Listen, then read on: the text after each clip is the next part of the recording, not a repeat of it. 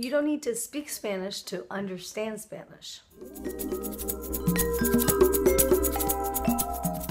Hello and welcome to Bilingual Family TV, the place to be if you want to create meaningful relationships with your child while learning Spanish. So, what exactly do I mean by the fact that you don't need to speak Spanish to understand Spanish? So to illustrate what I mean, I'm going to give you three messages. They're all the same, but I'm going to deliver them in three different ways. And I want you to see which message you actually understood or which approach helped you understand. So, okay, I'm going to say the message the first time.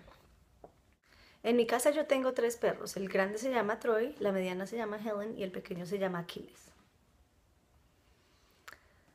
Number two, second approach. En mi casa yo tengo tres perros. El grande se llama Troy, la mediana se llama Helen y el pequeño se llama Aquiles.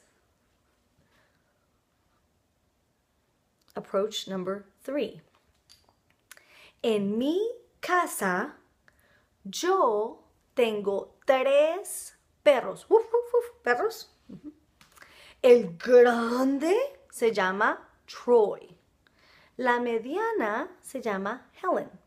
Y el pequeño se llama Achilles. Now, which one of those approaches helped you understand the message? Obviously, it was the third one.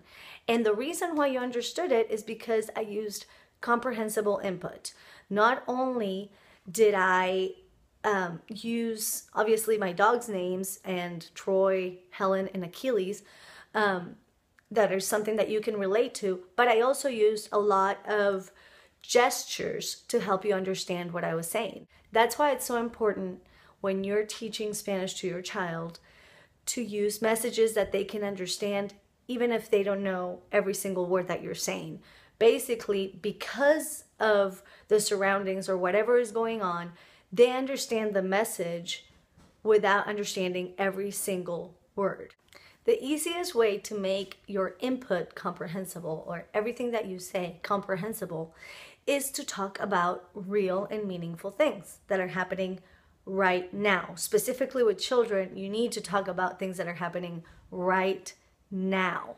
Um, it just helps them really understand what you're saying. The younger the child, the more concrete you have to be and the more in the now you have to be. So, my challenge to you is to think of times during the day when you can use comprehensible input and write it down in the comments below. Tell us what your plan is to use Spanish at home.